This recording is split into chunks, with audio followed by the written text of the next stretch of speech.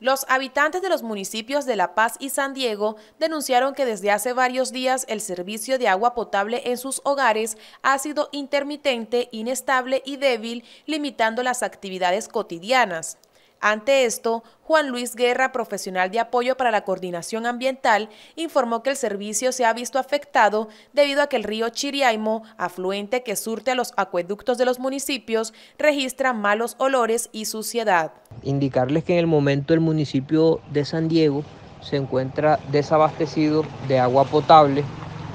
debido a que el río Chiriaimo en estos momentos está presentando una coloración y unos olores diferentes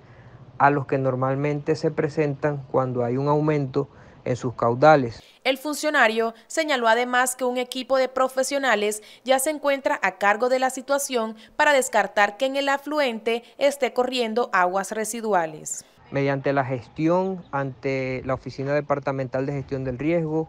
los cuerpos de bomberos del municipio de La Paz y de la ciudad de Valledupar y también eh, del Ejército, se están realizando unas gestiones de unos carro tanques que puedan ayudarnos a solucionar, solucionar temporalmente